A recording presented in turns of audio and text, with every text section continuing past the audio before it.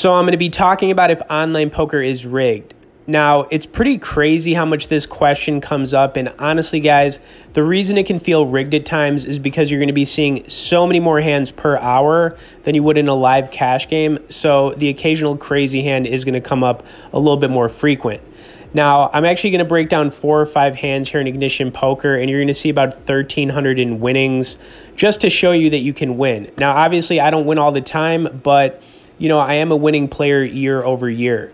Of course, as I'm getting into this topic as well, if you guys are looking for any good online poker sites, I mean, I definitely recommend Ignition. So I'll have some bonus sign up and resource links in the description. But yeah, let's get into these hands.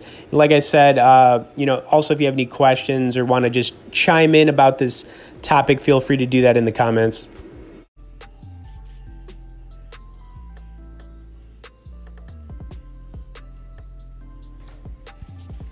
Feel like 10 bucks was a, a pretty friendly uh, call for a continuation call, but we didn't get anything. Uh, river card would have been a king, which is kind of a bummer, right? All right, 3 9. I think this one was a fold. I think we're about to see the big hand coming up here. It's going to be pocket aces. We're going to get it all in pre flop with the collar. It's pretty sick.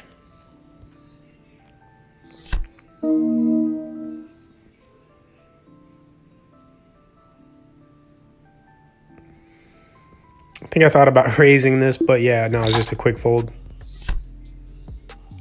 All right, so here we go, guys. This is going to be the big one. Now, pocket aces, right? I'm in the small blind, and there's always a few different ways you could play this, right? You could you could re-raise, build the pot up a little bit. Um, the thing about doing that and getting, you know, maybe like two or three people calling you, or one or two, is what I hate seeing is when I, you know, re-raise pocket aces and it's like one of those boards where it's like a two, five, eight board and somebody hits a set on me. That is the worst, right?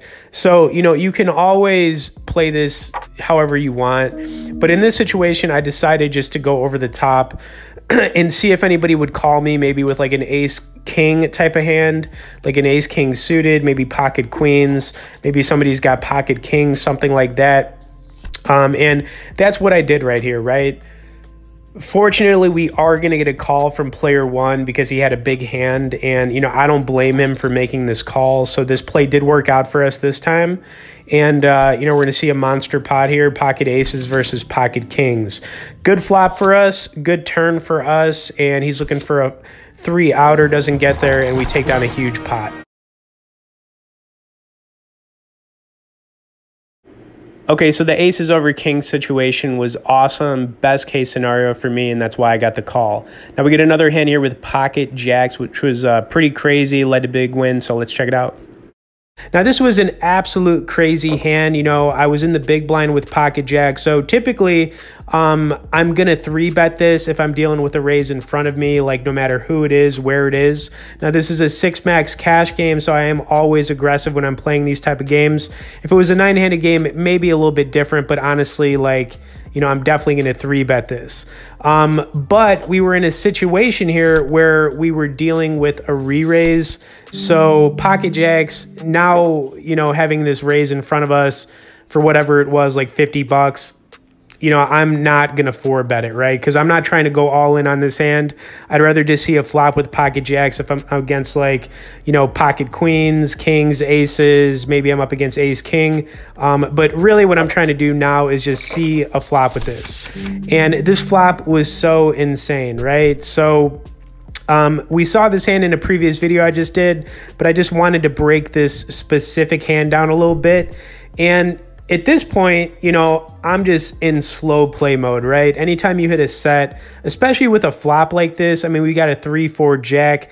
The only hand that I guess, which would be possible, but I'm not sure somebody would call, you know, a three bet raise, uh, you know, to 50 bucks with a 5 6 suited. I mean, I guess I could see that hand. If it was me, I would definitely play that 5 6 suited for sure. Um, but right now we're looking pretty good, and you know I'm just I'm slow playing this as much as possible, right? So I'm just like making it look like it's almost painful to make these calls. You know what I mean? Just playing super sneaky, kind of funny, honestly. All right, but yeah, I'm I'm just gonna like wait wait out the time clock a little bit here. Just trying to milk it. And, you know, I was praying that player four would make the call, right? I mean, I want to see both these guys in the hand. I don't want anybody to fold. Um, you know, best case scenario for me, maybe somebody hit a set at this point, maybe three or a four. Uh, obviously, if they had a set of fours, we're not looking too good right now, but they'd have quad fours. But at this point, man, I'm feeling pretty good. We got the full house. There is now a heart draw out there, which is uh, pretty good too. So if anybody's on a heart draw, maybe they're going to bet this, you know, a lot of different possibilities. But, you know, just feeling real good here. Just, you know, keeping my fingers crossed that I'm to get paid off big on this hand because that's what it's all about, right? Now, I believe player five is to check this. And, you know, the pot was what, at like 300 bucks right now. So the pot's pretty nice.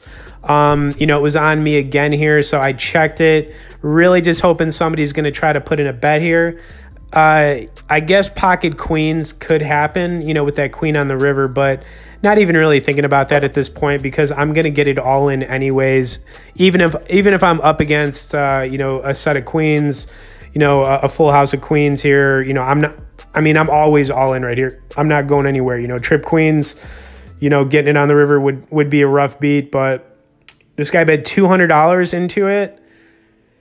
Player five makes the call. Okay, which was so crazy to me because honestly, I'm I'm wondering what these guys have. You know, like what do they have? Player five was the one who uh, three bet this pre-flop, so it, it was likely that he had maybe like pocket kings or aces, um, maybe ace queen, I guess, and he got the queen on the river. I guess that's possible too. So I mean, there were some possibilities here, but you know, I felt like he was really strong, um, and now I'm just sitting here like, is this really happening? Am I going to get this all in right now? And you know, I'm going all in here. I mean, it's only a couple hundred more bucks, uh, you know, or whatever. And uh, yeah, man, I just just a crazy hand. So getting it all in here. I think player four is going to fold, but player five is going to call us down. Now, player five had to think about it, and you know I don't blame him. And when he did make this call, I definitely didn't put him on ace queen. I think he had pocket kings or aces. And you know what do you do in this spot? You know what I mean? I feel like there's so much money in it. You know, if you've got aces or kings, the board doesn't look too terrible, honestly. You know, so it's like you know you got to call just to see what the guy has right? So he is going to make the call on me. And um, bottom line you know playing pocket jacks pre-flop like i said i'm going to be three betting usually but we had uh, you know player five do it for us. And this hand was just absolutely crazy. So he calls. I don't get to see what he had unfortunately but we took down a monster pot right there and it was like 800 bucks for the win Okay, anyways, hope you guys enjoyed this video. Uh, you know, feel free to comment below. Please smash the like button, subscribe to the channel for more poker videos, and we'll see you in the next one.